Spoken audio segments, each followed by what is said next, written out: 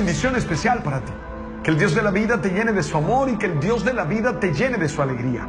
Aquí estamos como todos los días, con el corazón abierto. Aquí estamos necesitados del amor de Dios, necesitados de la fuerza de Él para hacer de este día el mejor de los días. Estamos seguros que Él no nos deja, que Él nos acompaña, que Él nos cuida y nos da fuerza para que seamos capaces de hacer lo que debemos hacer. Por eso hoy te bendigo, por eso hoy te deseo lo mejor, por eso hoy le pido al Señor que actúe en tu corazón y te haga sonreír, y te haga confiar, y te haga creer. Con ánimo, con gozo iniciamos este día. Estamos seguros que Él no nos abandona, estamos seguros que Él nos da su fuerza para que salgamos adelante. Ánimo, inicia este día con una sonrisa, inicia este día con un pensamiento optimista, inicia este día con una palabra constructiva. Nosotros confiamos en que todo va a salir bien. Nosotros confiamos en que vamos a ser capaces de vencer las dificultades, vamos a ser capaces de vencer los problemas. Hoy quisiera invitarlos a iniciar este día haciendo una reflexión en torno a cómo la navegación nos permite a nosotros, los que vivimos nuestra vida tratando de ser autogestores, tratando de ser autodependientes, es decir, tratando de ser líderes de nuestra propia existencia, nos ayuda. ¿Sí? John Maxwell habla de la ley de la navegación. Y fundamentalmente lo que hace es mostrar cómo la experiencia de ser navegante, cómo la experiencia de navegar en los mares, en los ríos, ayuda a que uno entienda su labor de líder. Les recuerdo a ustedes que todos somos líderes. Les recuerdo que cada uno está llamado a ser un verdadero líder. Primero un líder de su propia existencia, de su propio proyecto de vida. Un líder que tiene como tarea primordial sacar adelante su empresa, la empresa de su vida. Y claro, también tenemos roles de liderazgo, ya sea en aspectos sociales, ya sea en aspectos empresariales, ya sea en aspectos familiares, porque a veces somos los líderes de nuestra familia, o ya sea simplemente porque la sociedad nos ha dado ese rol. ¿Cuáles serían los beneficios o cómo nos ayuda a nosotros a ejercer nuestro propio liderazgo la navegación? Él plantea cuatro lecciones que a mí me parecen fundamentales y que quisiera compartir con ustedes. Uno, nosotros nos beneficiamos como líder cuando actuamos como los navegantes porque de alguna manera nos beneficiamos de la experiencia pasada. Un navegante sabe qué ha pasado cuando pasa por ese lugar, cuando ha navegado por ese lugar que ha pasado. Tiene experiencia acumulada, tiene unas experiencias que le ayudan a tomar decisiones en el presente. No vive anclado en el pasado, pero sabe que el pasado de alguna manera ilumina el presente. Sabe que el pasado le muestra el camino, sabe que el pasado le da lecciones para que sepa seguir adelante, para que sepa vivir. Pues lo mismo le sucede a un líder. Tú como líder tienes que aprender del pasado. Esas lecciones no son gratis. Esas lecciones tienes tú que apropiarte de ellas hacerlas formar parte de tu bagaje para que sigas adelante. Cuidado, te quedas tú sin aprender las lecciones del pasado. Porque estoy seguro que lección del ayer que no se aprende, lección que se repite. Claro, yo en eso creo que la vida es una estupenda maestra. Si tú no aprendiste la lección en el momento, ella que hace simplemente te vuelve a repetir la lección a ver si aprendes, a ver si eres capaz de asumirla, a ver si eres capaz de meterla dentro de tu corazón, dentro de tu ser. Como un navegante, el líder es capaz de aprender, de las experiencias pasadas. Sí, cuando perdí el control de mis emociones en aquella ocasión, cometí este y este y este error. Ahí hay una lección aprendida. Cuando fui imprudente y dije más de lo que debía decir, entonces me sucedió esto y me sucedió aquello. Ahí hay un aprendizaje. Cuando me comporté tercamente y cerré la puerta a toda novedad, a todo cambio, tuve problemas serios. Entonces, nada, ¿qué tengo que hacer? Ser capaz, con serenidad, con tranquilidad, de aprender de esas experiencias. Segundo, los líderes, como los navegantes, examinan las condiciones antes de comprometerse, antes de contraer compromisos. Qué importante eso. Uno tiene que revisar bien las condiciones. Como un navegante, antes de salir averigua todo, ¿verdad? Averigua todo, todo. Mira, cuando uno se sube a un avión, lo primero que hace el piloto es decirle cómo está la ruta. Mira, la ruta está en perfectas condiciones, no hay dificultades. Vamos a pasar unas zonas de turbulencias donde usted se va a sentir incómodo, pero definitivamente no va a haber peligro para usted ni peligro para el viaje. Es decir, el observar las condiciones externas le permiten tomar compromisos, contraer obligaciones. Tú no tomes compromisos, no asumas obligaciones si antes no has hecho ese análisis de lo que está a tu alrededor, si antes no has entendido qué es lo que pasa a tu alrededor, que las condiciones externas no sean obviadas por ti. No vayas a decir, no, no me importa. Claro que sí. El entorno, el contexto es fundamental para poder hacer bien nuestra tarea de liderazgo. Insisto, no contraigas compromisos, no adquieras obligaciones sin tener un análisis claro, un análisis verdadero, un análisis concreto del contexto en el que estás tú viviendo, del contexto en el que estás tú actuando. Por eso, quisiera que en este momento revisaras eso, en el liderazgo de tu vida, en el liderazgo de tu proyecto, en el liderazgo de tu actuar, en el liderazgo de tu vivir. ¿Cómo va eso? ¿Realmente tú tienes conciencia de lo que está pasando alrededor? Porque tú no eres solo, tú no estás solo. Hay gente a tu lado que actúa, que tiene decisiones, que tiene comportamientos que vale la pena tener presente para seguir adelante. Tercera lección. Los líderes aprenden como los navegantes porque son capaces de escuchar lo que otros dicen. Hemos hablado mucho de la necesidad de escuchar bien, de saber escuchar. Nos cuesta saber escuchar. A los que hablamos bastante, a los que nos gusta hablar, nos cuesta escuchar. Y si uno quiere ser un buen líder, y si uno quiere tomar buenas decisiones, y si uno quiere construir la vida de la mejor manera, uno necesita, oye bien, uno necesita ser capaz de, oye, escuchar a los demás. Un buen navegante ha escuchado las leyendas, ha escuchado los comentarios que otros hacen y aprende de ellos. No solo los escucha para decir, wow, qué rico, no, los escucha para tener claro qué puede haber de verdad, qué no puede haber de verdad y aprender. Entonces yo creo que esto es fundamental y quisiera que hoy lo tuvieras presente para que saliéramos adelante. Sé capaz de escuchar a los demás. Acalla tu corazón, serénate, tranquilízate y por favor, escucha al otro. Escucha al que está cerca de ti. Escucha al que sabe de alguna manera qué puede suceder porque ha vivido experiencias.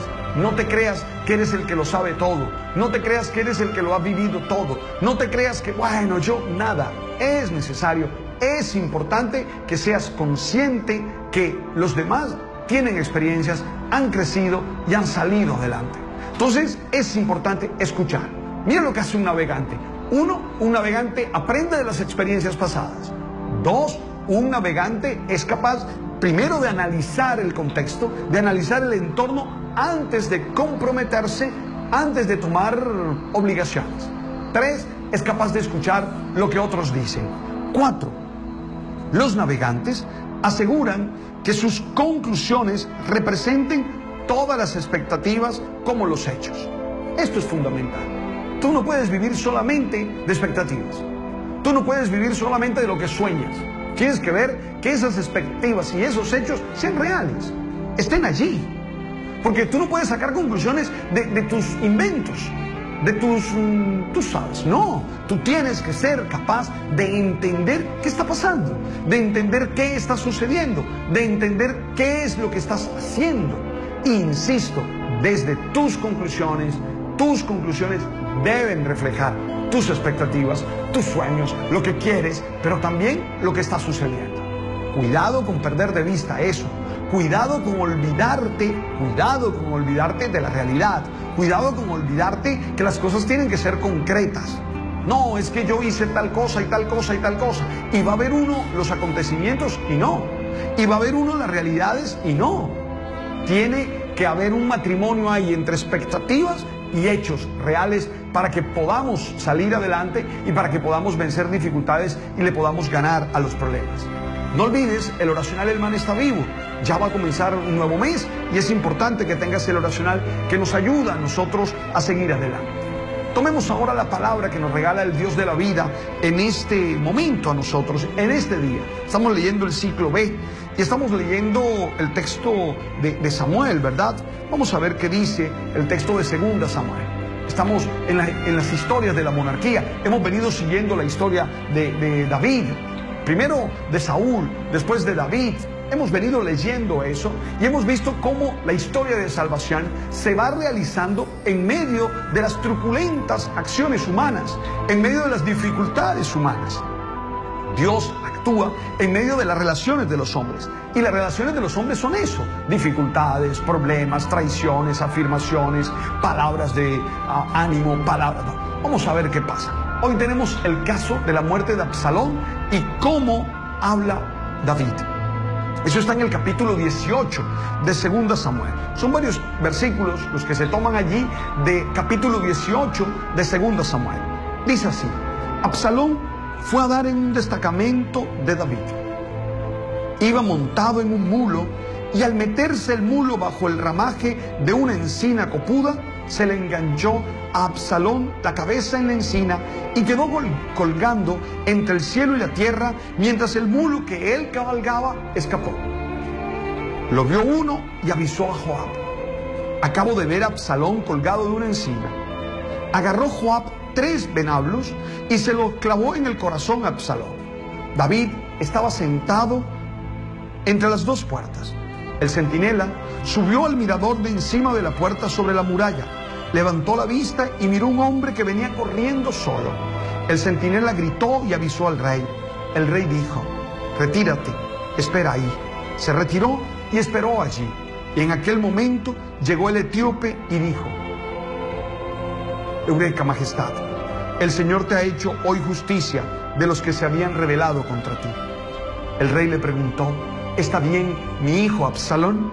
Respondió el etíope, acaben con él los enemigos de vuestra majestad y cuantos se rebelen contra ti. Entonces el rey se estremeció, subió al mirador de encima de la puerta y se echó a llorar diciendo mientras subía, Hijo mío, Absalón, hijo mío, hijo mío, Absalón, ojalá hubiera muerto yo en vez de ti. Absalón, hijo mío, hijo mío. A Joab le avisaron, el rey está llorando y lamentándose por Absalón. Así, la victoria de aquel día fue el duelo para el ejército, porque los soldados oyeron decir que el rey estaba muy afligido por la muerte de su hijo. Y el ejército entró aquel día en la ciudad a escondidas, como se esconden los soldados abochornados cuando han huido del combate. Palabra del Señor. El texto es hermoso. Recuerden ustedes la historia. Absalón se ha rebelado contra su padre. Ha intentado derrocar a su padre. Lo persiguen las tropas de David y ahora es asesinado por Joab, uno de los escuderos, uno de los generales de David. Todo el mundo esperaría un aplauso para él. Todo el mundo esperaría que el rey David aplaudiera a su ejército que lo ha defendido y que ha acabado con el enemigo. Pero no, para David es muy importante la familia. Para David es muy importante la relación filial pone por encima del poder, pone por encima del poder político la relación familiar. Y por eso termina llorando por la muerte de su hijo, que era un enemigo a su trono, pero era su hijo. Y de alguna manera prefiere a su hijo que la muerte de este. Prefiere la vida de su hijo que la muerte de un enemigo. Eso nos llama la atención, porque en nuestra sociedad hoy hemos perdido el valor de la familia. Hoy hay tantas cosas por encima de la familia. Hoy hay tantas realidades por encima de la familia que vale la pena que tú entiendas algo a la manera de David. Es más importante, es más valioso lo sublime, lo familiar que el poder político. Ojalá lo entendiéramos hoy y viviéramos con tranquilidad de esa manera. Tomemos ahora el Evangelio que se nos regala en este día es el texto de Marcos capítulo 5, versículo 21 al versículo 41. El día de ayer leímos nosotros el relato del endemoniado de Gerasa. Vamos a ver qué nos da Marcos capítulo 5, versículo 21 al versículo 41. Jesús atravesó de nuevo a la otra orilla. Se le reunió mucha gente a su alrededor y se quedó junto al lago. Se acercó un jefe de la sinagoga que se llamaba Jairo y al verlo se echó a sus pies rogándole con insistencia. Mi niña está en las últimas. Ven, pon las manos sobre ella para que se cure y viva. Había una mujer. Jesús se fue con él, acompañado de mucha gente que le apretujaba. Había una mujer que padecía flujos de sangre desde hacía 12 años. Muchos médicos la habían sometido a toda clase de tratamiento y se habían gastado en eso toda su fortuna. Pero en vez de mejorar, se había puesto cada vez peor. Oyó hablar de Jesús y acercándose por detrás, entre la gente, le tocó el manto, pensando que con solo tocarle el vestido, curaría. Inmediatamente se secó la fuente de sus hemorragias y notó que su cuerpo estaba curado. Jesús, notando que había salido fuerza de él, se volvió enseguida en medio de la gente preguntando, ¿quién me ha tocado el manto? Los discípulos le contestaron, ¿ves cómo te apretuja la gente y preguntas quién me ha tocado? Él seguía mirando alrededor para ver quién era. La mujer se acercó asustada y temblorosa. Al comprender lo que había pasado, se le echó a los pies y le confesó todo. Él le dijo, hija, tu fe te ha curado, vete en paz y con salud. Todavía estaba hablando cuando llegaron de casa del jefe de la sinagoga para decirle, tu hija se ha muerto, ¿para qué molestar al maestro? Jesús alcanzó a oír lo que hablaban y le dijo al jefe de la sinagoga, no temas, basta que tengas fe. No permitió que lo acompañara nadie más que Pedro, Santiago y Juan, el hermano de Santiago. Llegaron a casa del jefe de la sinagoga y encontró el alboroto de los que la lloraban y se lamentaban a gritos. Entró y le dijo, ¿qué llanto es este? La niña no está muerta, está dormida. Se reían de él, pero él los echó fuera todos. Y con el padre y la madre de la niña y sus acompañantes entró donde estaba la niña, le cogió de la mano y le dijo, Talita Kumi, que significa niña, levántate. La niña se puso en pie, inmediatamente echó a andar. Tenía 12 años. Palabra del Señor. El poder de Dios que sana. El poder de Dios que sana por su palabra y aún con solo tocar. Mañana hablamos de este texto.